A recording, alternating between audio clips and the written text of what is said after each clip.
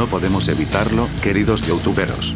Tengamos la edad que tengamos, nos encanta y apasiona seguir viendo películas de dibujos animados.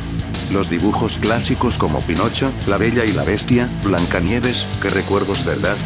Nos pasábamos horas y horas delante de la televisión viéndolas sin parar.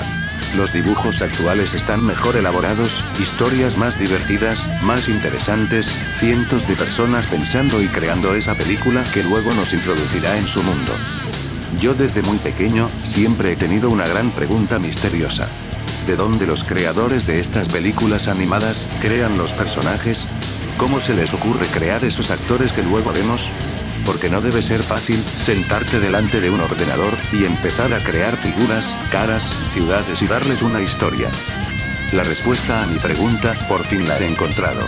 En este video, te mostraremos personas, con cierto parecido, o incluso igualitas porque en ellas se inspiraron los productores, para crear esas magníficas películas animadas.